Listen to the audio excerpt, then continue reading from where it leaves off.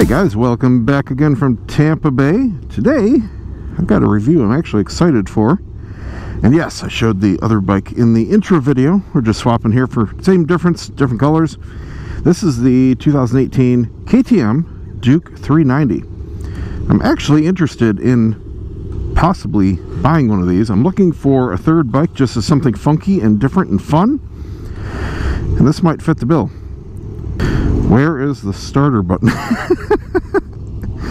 uh, down here? Yep. Wow, can't even see it.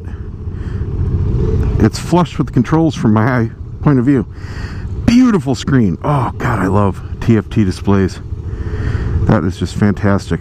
It's quite deep too. There's a top glass. It's dusty. Beautiful. Oh wow! I hate the uh, update. That is horribly slow. Definitely have to fix that. So this is basically a big, fun, single-cylinder bike.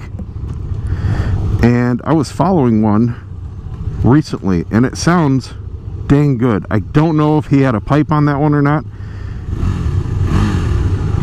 This one's very tame. We're just waiting to pull out here. So initial thoughts, just sitting on it here. Um, taller than I thought. I can stand up, but the seat completely follows me. I've got no gap under me, but you sit on it, and the whole suspension just squishes down and easily flat footing it with a lot of knee bend. If you're on the shorter side, this is going to work for you fine. You only look like a circus bear a little bit. strong like circus bear. so we got a really, really chintzy clutch lever here. This whole thing, let me put it in neutral so I can show you better. Whole thing just super floppy. That's terrible. Brake is better. Still got a lot of play, but this clutch is janky, man.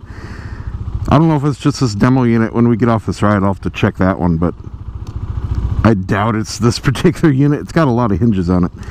So, definitely a budget bike. Got controls here for the signals. Feels good. Some digital switches here to go through the menus. Flash to pass. Should be a push. Yep, push for brake controls. I like the info in here. Battery voltage, you don't see that on hardly any bikes. Let's see what these do. Oh, that's cool. Whole new menu comes up. Average speed, fuel range, so it doesn't cycle through. Yeah, you can kill it for a minute. Oh. He's getting his gloves. His wife had to go get him a pair of gloves. Okay.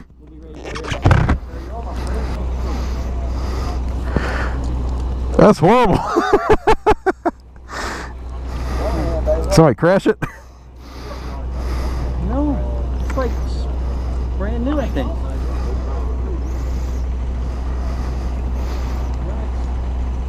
They're the same. Huh. Take two. So going through the menu here, some pretty nice options.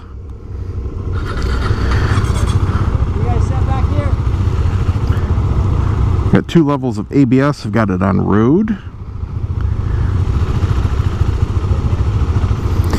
Gear indicator in the top right there.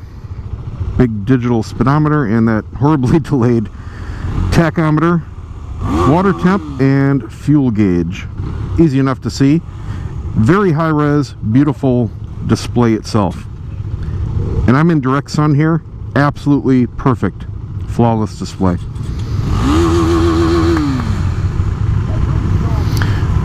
And he's got a problem on his yow.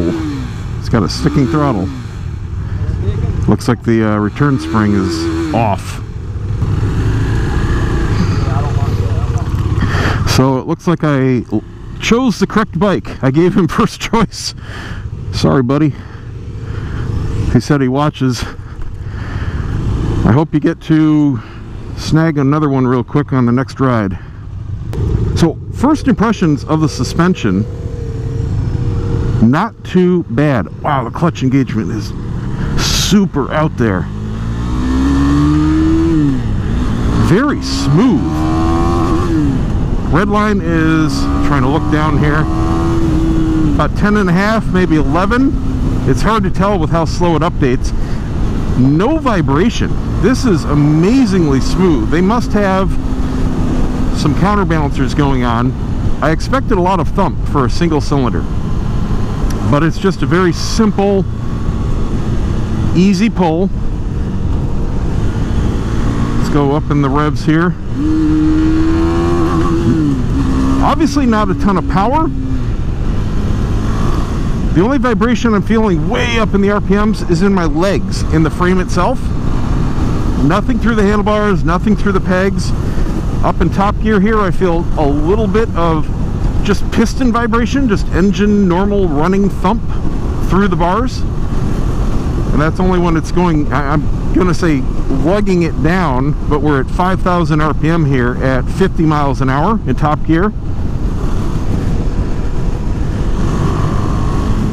Can hardly hear the exhaust at all. I would definitely want to put some type of pipe on it.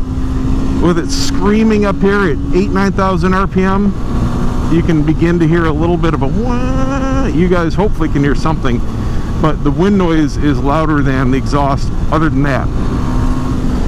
Very surprised how smooth it is. Suspension is great. This is amazing. It's plush and compliant, but I'm not bouncing around. I am not out of... It literally feels way better than the stock FZ09 to give you a comparison, and that's a far more expensive bike. So they definitely put some money into the suspension on this from the factory. Hopefully we'll hit some curves. Now this road is very smooth, but I'm very familiar with it. And I'm just floating along nice and controlled. Bar width is excellent. I expect it to be a little on the narrow side, kind of like, say, the Ninja or the R3, uh, Ninja 300, I should say. But this is actually a little bit wider. It's completely normal. Same as a SV650 or an FZ07. A little bit narrower than the FZ09. I'm only mentioning that because that's what I rode today, so I'm obviously got the muscle memory. It's got a slight backward cant, very natural feeling in the hands. Grips are quite plush rubber, no vibration, very comfy, and they're normal size. Mirrors are not too bad. They're very clear, first of all, and I can actually see quite a bit out of them. I've only got about a quarter of it showing with my arm. Other than that, it's nice clear road.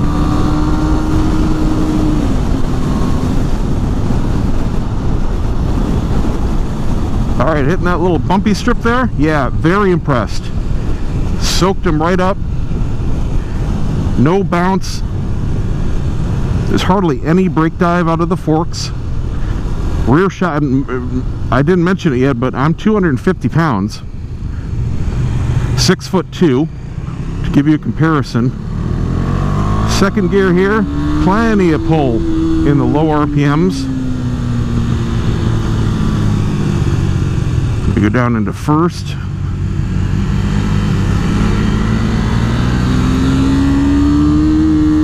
I'm used to a quick shifter.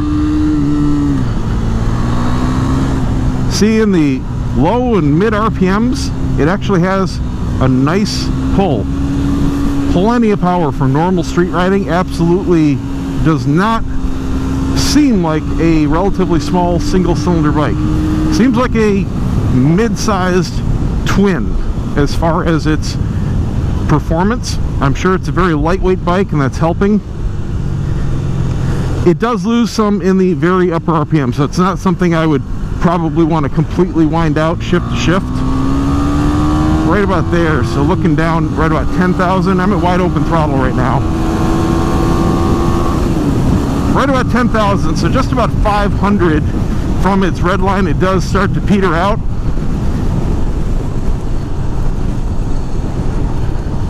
Very smooth on the downshift. It feels like a slipper clutch. I didn't look to see if it had one, but it definitely is performing like one.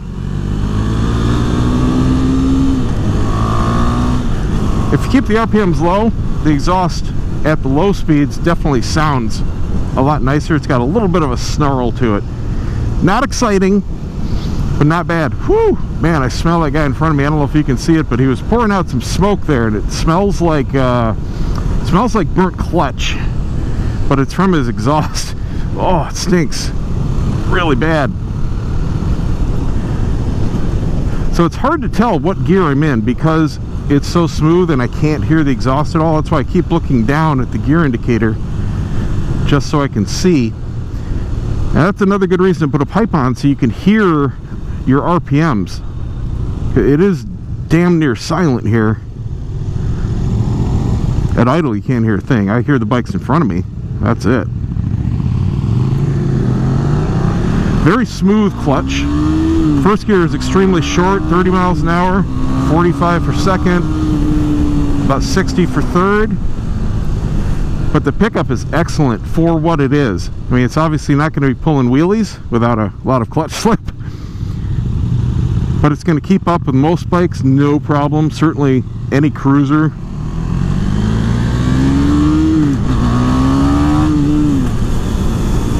I definitely prefer it here shifting a little early, around 9,000. Gives you that little bit of a kick when you shift up. Nice in the corners. It's obviously extremely flickable and lightweight.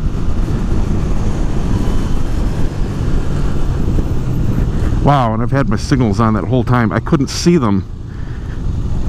I didn't know exactly where to look and I didn't notice them. It's just a little green light there on the left. My bad. Now I see it. In direct sun, that's a little hard to see. What's that? Oh yeah. I just realized I had my signals on. Definitely a fun little bike, that is for sure. I haven't even looked at the sticker price yet. I'm gonna take a guess without, seriously, without looking. Uh, I would put this somewhere around 53, 5400. That's about what I would pay for it. But I will have to look it up here at the end of the ride because I'm curious. Would I buy one? That's a that's a good question. I'm not turned off from it. That's for sure. It's a fun little bike. I was looking for, if I'm looking for something small like this, more of a sport bike though. This is definitely a full upright, normal, naked bike position. I, I did think this was more of a sporty feel. And it's definitely not. It's a completely normal, standard bike. Very comfortable though. So the seat, excellent. I have no hot spots. It's very supportive, quite firm, and nice and wide. I've got a hump at the back of my butt. Very nice seat. There's a little bit of frame vibration that comes through, but I have no hot spots.